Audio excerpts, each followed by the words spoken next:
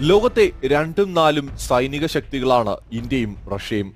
ദൗർഭാഗ്യവശാൽ ഇപ്പോൾ നടക്കുന്ന സംഭവങ്ങൾ ഏറ്റവും അധികം ബാധിക്കാനിടയുള്ളതും ഇന്ത്യയെ തന്നെയാണ്. ഏഷ്യയിലെ പല രാജ്യങ്ങളുടെയും സൈനിക കരുത്തിന്റെ പിന്നിൽ അമേരിക്കയുടെയും റഷ്യയുടെയും പങ്ക് വളരെ വലുതാണ്. ഇന്ത്യയും ചൈനയും പോലെ ഏഷ്യയിലെ ഭീമന്മാരായ രണ്ട് രാജ്യങ്ങൾക്ക് എല്ലാ സൈനിക സഹായവും ആയുധങ്ങളുമൊക്കെ ഒരു കാലത്ത് നൽകിയിരുന്നത് റഷ്യയാണ്. ഇന്നിപ്പോൾ ഇന്ത്യ ആണെങ്കിലും ചൈന ആണെങ്കിലും സ്വന്തം നിലയിൽ ആയുധങ്ങൾ നിർമ്മിക്കുന്നുണ്ടെങ്കിലും അത് റഷ്യൻ ടെക്നോളജിയെ കൂടി ആശ്രയിച്ചുകൊണ്ട് തന്നെയാണ് ചെയ്യുന്നത്. ഇപ്പോൾ ഇന്ത്യ വിമാനവാഹിനി കപ്പൽ തദ്ദേശീയമായി ഇവിടെ നിർമ്മിക്കുന്നുവെങ്കിലും ചില സഹായങ്ങൾ അതിന് ഇന്ത്യയ്ക്ക് റഷ്യയുടെ ഭാഗത്തു നിന്ന് ലഭിച്ചിട്ടുണ്ട്. ഇന്ത്യ ഗഗൻയാൻ പദ്ധതിക്ക് തയ്യാറെടുക്കുമ്പോൾ അതിന് നമ്മെ സഹായിക്കുന്നത് റഷ്യയാണ്. അതായത് പല കാര്യങ്ങളും നമ്മൾ പുതുതായിട്ട് ചെയ്യുമ്പോൾ നമുക്ക് പല സംശയങ്ങളും ഉണ്ടാവാം ചെറിയ ചെറിയ കാര്യങ്ങളിൽ നമുക്ക് നിർദ്ദേശങ്ങൾ ആവശ്യമായി വന്നേക്കാം. ഇത്തരത്തിൽ നമുക്ക് വേണ്ട ഡയറക്ഷൻസ് നൽകാനും നമുക്ക് വിശ്വസിച്ച് കാര്യങ്ങൾ തിരക്കാനും സഹായം ആവശ്യപ്പെടാനും ഒക്കെ കഴിയുന്ന ഒരു പങ്കാളിയാണ് എക്കാലവും റഷ്യ. റഷ്യ ഒരിക്കലും സ്വാർത്ഥതയുടെ പേരിൽ ഇന്ത്യ ചതിച്ചിട്ടില്ല. മറ്റു പല രാജ്യങ്ങളും ഇന്ത്യയെ സഹായിച്ചു കഴിഞ്ഞാൽ ഇന്ത്യ വളർന്നു പോകുമോ എന്ന് ഭയന്ന് ഇന്ത്യയെ സഹായിക്കാതിരുന്നപ്പോഴും സോവിയറ്റ് യൂണിയൻ ഉണ്ടായിരുന്ന കാലത്തും പിന്നീട് അത് റഷ്യയായി മാറിയപ്പോഴുമൊക്കെ ഇന്ത്യക്കുള്ള സഹായവും പിന്തുണയും ഈ രാജ്യം ഒരിക്കലും പിൻവലിച്ചിട്ടില്ല എന്ന് നമ്മൾ ഓർക്കണം.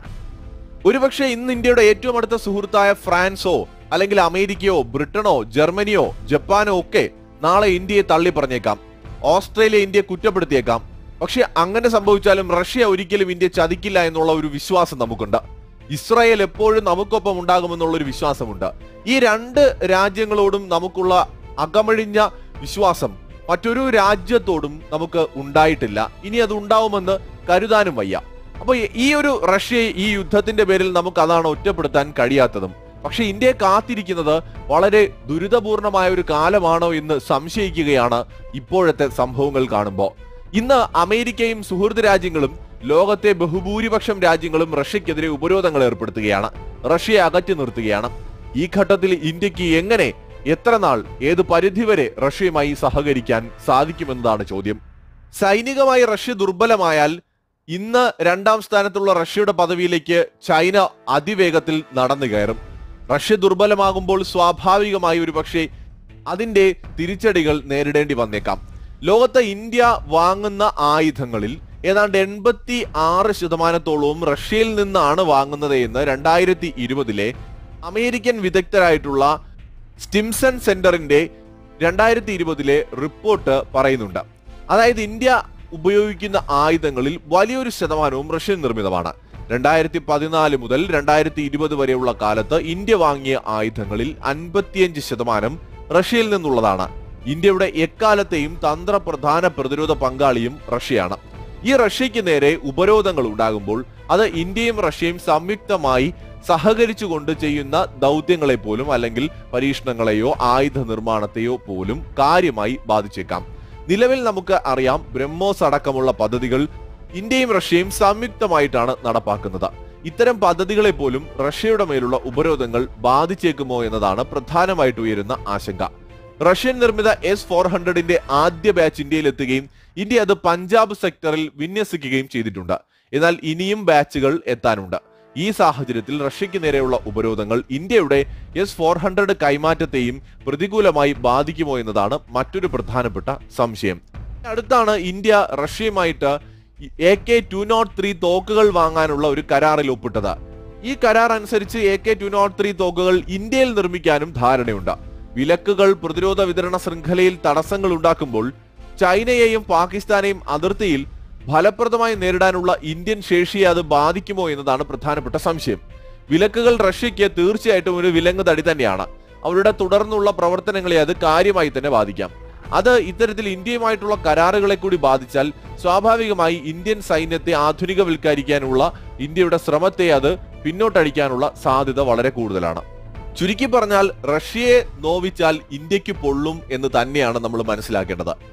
റഷ്യ ഇതുപോലെ ശക്തമായി നിലനിൽക്കേണ്ടത് ഇന്ത്യയുടെ വളർച്ചയുടെ കാര്യത്തിൽ വളരെ നിർണായകമാണ്. കാരണം റഷ്യയ്ക്ക് ഒരുപാട് ടെക്നോളജി ഉണ്ട്. ഇന്ത്യയെ പോലെ വിശ്വസ്തമായിട്ടുള്ള ഒരു രാജ്യവുമായി അത് പങ്കുവയ്ക്കാൻ അവർക്ക് മടിയുമില്ല. സാമ്പത്തിക രംഗം ഇന്ത്യ ശക്തിപ്പെടുത്തുന്നതിനോടൊപ്പം തന്നെ സൈനിക ശക്തി കൂടി കൂടുതൽ വർദ്ധിപ്പിക്കാൻ റഷ്യയുമായുള്ള സഹകരണം ഇന്ത്യ സഹായിക്കുകയും ചെയ്യും. പക്ഷേ ദൗർഭാഗ്യവശാൽ ഇപ്പോൾ ഉപരോധങ്ങളിൽ റഷ്യ നട്ടം തിരിയുകയാണ്. ഈ ഘട്ടത്തിൽ ഇന്ത്യയുമായിട്ടുള്ള കരാറുകൾ നീണ്ടുപോകുമോ എന്ന ആശങ്ക വളരെ ശക്തമായി തന്നെ നിലനിൽക്കുന്നുണ്ട്. റഷ്യയിൽ നിന്ന് പടക്കപ്പലുകൾ വാങ്ങാനുള്ള കരാറുകൾ നിലവിലുണ്ട്. ഇതിൽ പ്രധാനം ഇന്ത്യൻ നാവികസേനയ്ക്കായി രണ്ടായിരത്തി പതിനെട്ടിൽ ഒപ്പിട്ട തൊള്ളായിരത്തി അൻപത് ദശലക്ഷം ഡോളറിന്റെ തൽവാർ ക്ലാസ് സ്റ്റെൽത്ത് കപ്പലുകളാണ്. ഇന്ത്യയെ സംബന്ധിച്ചിടത്തോളം വളരെ പ്രധാനപ്പെട്ട ഒന്നാണിത്. സ്റ്റെൽത്ത് കപ്പലുകൾ ഇന്ത്യൻ സൈന്യത്തിന്റെ പ്രത്യേകിച്ച് നേവിയുടെ വീര്യം വർദ്ധിപ്പിക്കുന്നവയാണ്. ലോകത്ത് ചുരുക്കം ചില രാജ്യങ്ങൾക്ക് മാത്രമാണ് സ്റ്റെൽത്ത് കപ്പലുകൾ ഉള്ളത്. ആ നിലയ്ക്ക് ഇത് വളരെ പ്രധാനപ്പെട്ട ഒരു കരാറാണ്. ഇവിടെ ഈ ഒരു കപ്പലിന്റെ എഞ്ചിൻ നിർമ്മിക്കുമെന്ന് പ്രതീക്ഷിച്ചിരുന്നത് യുക്രൈനിൽ നിന്നുള്ള ഒരു കമ്പനിയാണ്. ഇന്ത്യ എന്തുകൊണ്ടാണ് റഷ്യ യുക്രൈൻ യുദ്ധത്തിൽ ഇരു രാജ്യങ്ങളെയും നോവിക്കാതെ വളരെ നിഷ്പക്ഷ നിലപാട് സ്വീകരിക്കുന്നു എന്ന ചോദ്യത്തിനുള്ള ഒരു മറുപടി കൂടിയാണിത്. കാരണം യുക്രൈനുമായും നമുക്ക് പല ബന്ധങ്ങളുമുണ്ട്. അപ്പോൾ ഇങ്ങനെ ഒരു കപ്പലിന്റെ എഞ്ചിൻ നിർമ്മിക്കുമെന്നുള്ള ഈ ഒരു യുക്രൈൻ കമ്പനി ഇനിയിപ്പോൾ അതിന് തയ്യാറാകുമോ എന്നത് പ്രധാനപ്പെട്ട ഒരു ചോദ്യം. യുക്രൈനും റഷ്യയും സഹകരിക്കാനുള്ള യാതൊരു സാധ്യതയും സമീപ ഭാവിയിൽ ഇനിയിപ്പോൾ ഉണ്ടാവുകയുമില്ല. റഷ്യയുടെ പുതിയ നീക്കം ഇന്ത്യയുടെ ഈ യുദ്ധക്കപ്പലിന്റെ കരാറിനെ കൂടുതൽ അനിശ്ചിതത്വത്തിലാക്കുന്നു എന്ന് വേണം മനസ്സിലാക്കാൻ. അമേരിക്കയുടെയും യൂറോപ്പിന്റെയും റഷ്യയ്ക്ക് മേലുള്ള പുതിയ ഉപരോധങ്ങൾ ഇന്ത്യ കൂടി ഭാഗമായ ബ്രഹ്മോസ് മിസൈലുകളുടെ കരാറുകളെ കാര്യമായി ബാധിക്കുമോ എന്ന ആശങ്കയും പ്രതിരോധ വിദഗ്ധർ പങ്കുവയ്ക്കുന്നുണ്ട്. ഇന്ത്യ റഷ്യ സംയുക്ത ക്രൂയിസ് മിസൈലായ ബ്രഹ്മോസിന്റെ ഫിലിപ്പീൻസുമായുള്ള മുന്നൂറ്റി എഴുപത്തിയഞ്ച് ദശലക്ഷം ഡോളറിന്റെ കരാറാണ് പുതിയ വിലക്കുകളാൽ അനിശ്ചിതത്വത്തിലായിരിക്കുന്നത്. റഷ്യയുടെ എൻ പി ഒ എമ്മും ഇന്ത്യയുടെ ഡി ആർ ഡി ഒയും സംയുക്തമായിട്ടാണ് ബ്രഹ്മോസ് വികസിപ്പിച്ചെടുത്തത്. ഇങ്ങനെ ഒരു മിസൈൽ വാങ്ങുന്നതിൽ നിന്ന് ഫിലിപ്പീൻസ് പിന്മാറുമോ എന്നുള്ള ആശങ്കയും തീർച്ചയായിട്ടുമുണ്ട്. കാരണം ലോകത്തെ പല രാജ്യങ്ങളും ഇപ്പോൾ റഷ്യക്കെതിരെ ഉപരോധം ഏർപ്പെടുത്തുകയാണ്. പ്രത്യേകിച്ച് ഫിലിപ്പീൻസ് ഉൾപ്പെടെയുള്ള രാജ്യങ്ങളിൽ അമേരിക്കയ്ക്ക് വലിയ സ്വാധീനമുണ്ട് എന്നത് ഓർമ്മിക്കുക കൂടി വേണം. ഇന്ത്യയ്ക്ക് മറ്റൊരു ലക്ഷ്യം കൂടിയുണ്ട്. രണ്ടായിരത്തി ഇരുപത്തി അഞ്ചാകുമ്പോഴേക്കും ഇന്ത്യയുടെ പ്രതിരോധ കയറ്റുമതി അഞ്ച് ബില്യൺ ഡോളറാക്കി വർദ്ധിപ്പിക്കാനുള്ള ശ്രമമാണ് ഇന്ത്യ നടത്തിവരുന്നത്. എന്നാൽ റഷ്യയ്ക്ക് മേലുള്ള ഉപരോധങ്ങൾ ഇത് വലിയ തോതിൽ തിരിച്ചടി നേരിടുന്നതിന് കാരണമായേക്കുമോ എന്നാണ് ഇപ്പോൾ ഇന്ത്യ ആശങ്കപ്പെടുന്നത്. ബ്രഹ്മോസ് മിസൈൽ വാങ്ങാൻ ഇന്തോനേഷ്യ തായ്ലൻഡ് വിയറ്റ്നാം തുടങ്ങിയ രാജ്യങ്ങൾ താൽപര്യം അറിയിച്ചിരുന്നതാണ്.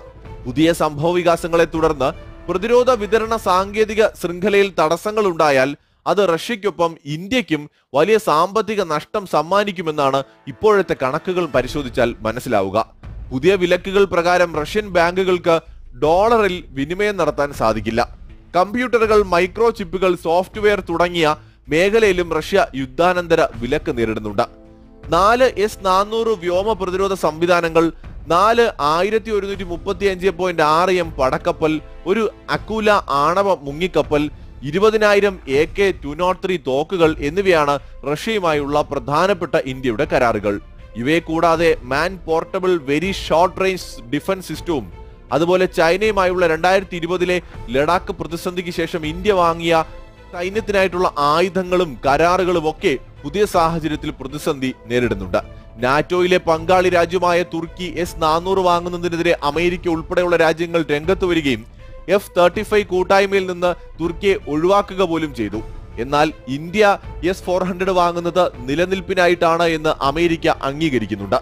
ചൈനയെ പ്രതിരോധിക്കാൻ ഇന്ത്യയ്ക്ക് ഇതുപോലെ ഒരു ആയുധം അത്യാവശ്യമാണെന്നിരിക്കെ മേഖലയിൽ ഇന്ത്യയും ചൈനയും തമ്മിലുള്ള സൈനിക കരുത്ത് ബാലൻസ് ചെയ്ത് നിർത്താൻ ഇന്ത്യയ്ക്ക് റഷ്യയുമായുള്ള ബന്ധം അനിവാര്യമാണ് എന്ന് അമേരിക്കയും സഖ്യരാജ്യങ്ങളും മനസ്സിലാക്കുമ്പോൾ തന്നെ ഒരു പരിധിക്കപ്പുറം റഷ്യയും ഇന്ത്യയും തമ്മിലുള്ള ബന്ധം ഈ രാജ്യങ്ങൾ ഇഷ്ടപ്പെടുന്നില്ല എന്നതും ഒരു സത്യമാണ്. ഇന്ത്യ ഏതെങ്കിലും രാജ്യത്തിന്റെ താല്പര്യത്തിനനുസരിച്ചല്ല നിലപാട് സ്വീകരിക്കുന്നത്. പക്ഷേ പരസ്പരം ആശ്രയിച്ചു കഴിയുന്ന ഈ ലോകത്ത് ഒരു രാജ്യത്തെയും അതിനി എത്ര ചെറിയ രാജ്യമാണെങ്കിൽ പോലും പിണക്കാൻ കഴിയില്ല എന്നതും ഒരു യാഥാർത്ഥ്യമാണ്. ഇന്ത്യയുടെ വ്യാപാര പങ്കാളികളാണ് അമേരിക്കയും യൂറോപ്പും. ഈ രാജ്യങ്ങളെ പൂർണമായി പിണക്കാൻ ഇന്ത്യയ്ക്ക് കഴിയില്ല. ലോകത്തെ ഒട്ടുമിക്ക രാജ്യങ്ങളിലും ഇന്ത്യൻ വംശജരുണ്ട്. ഓസ്ട്രേലിയ ഉൾപ്പെടെ എല്ലാ രാജ്യങ്ങളിലുമുണ്ട്. ഇപ്പോൾ റഷ്യക്കെതിരെ ഉപരോധമുണ്ടാവുകയും യുദ്ധക്കുറ്റം ചുമത്തുകയും ചെയ്യുമ്പോൾ സ്വാഭാവികമായ ലോകത്തുള്ള റഷ്യൻ പൗരന്മാർ ഒറ്റപ്പെടുന്ന ഒരു വസ്തുത നമ്മൾ കാണുന്നുണ്ട്. ലോകത്തെ ഏത് രാജ്യത്ത് റഷ്യൻ പൗരന്മാരുണ്ടെങ്കിലും അവരവിടെ ഈ ഭരണകൂടം നടത്തുന്ന യുദ്ധത്തിന്റെ പേരിൽ വലിയ തോതിലുള്ള ഒറ്റപ്പെടലുകളും പരിഹാസങ്ങളും അതുപോലെ പീഡനങ്ങളും അനുഭവിക്കുന്നുണ്ട്. സമാനമായി ലോകം മുഴുവൻ ഇന്ത്യക്കാരുണ്ട്. അപ്പോൾ ഇന്ത്യയ്ക്ക് ഏതൊരു വിഷയത്തിലും നിലപാട് സ്വീകരിക്കുമ്പോൾ ഒരുപാട് കാര്യങ്ങൾ പരിശോധിച്ച് ചെയ്യാൻ സാധിക്കുകയുള്ളൂ. പക്ഷെ ഇവിടെ ഇപ്പോൾ ഈ യുദ്ധം റഷ്യയ്ക്ക് മേൽ ഉപരോധമായി മാറുമ്പോൾ അത് ഇന്ത്യയുടെ വളർച്ചയെയും ഭാവിയെയും ചെറിയ തോതിലെങ്കിലും ബാധിക്കാനുള്ള സാധ്യത നമുക്ക് തള്ളിക്കളയാൻ പറ്റില്ല. ഈ പറഞ്ഞ കരാറുകളൊക്കെ റഷ്യയുമായുള്ള ഇന്ത്യ ഈ വിഷയത്തിൽ ഇടപെടുന്നതും യുദ്ധം അവസാനിപ്പിക്കാൻ പരിശ്രമിക്കുന്നതും ഈ കാരണങ്ങൾ കൊണ്ടുകൂടിയാണ് ഇതുകൊണ്ടാണ് ഇന്ത്യ ഒരു പക്ഷത്തിന്റെയും ഭാഗമാകാതെ സ്വതന്ത്രമായി നിൽക്കുന്നതും.